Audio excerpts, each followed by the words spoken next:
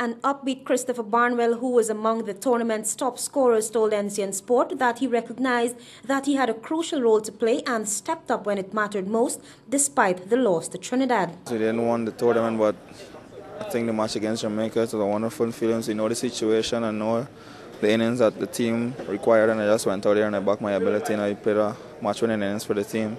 The young and promising fast bowler Ronsford Beaton, who posed huge discomfort for a number of recognized batsmen with his pace and bounce, including big hitting Christopher Gayle and Kieron Pollard, said he performed when it mattered most. I just go out in the game seeking advice from the senior players and try to hit my areas, no, bowl to how I know to, how accustomed to bowl, and it paid off.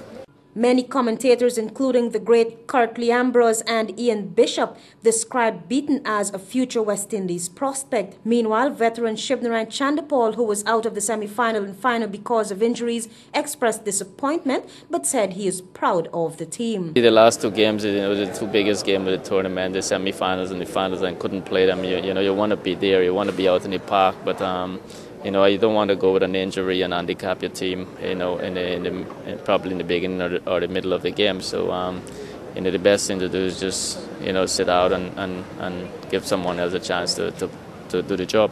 He credited Beaton and Barnwell, whose performances were well above par, and is optimistic that a bright future lies ahead as the team now shifts gear for the regional four day and won the encounters. Guyana won five of their eight encounters in the tournament. Alicia Grant Charles for NCN Sport.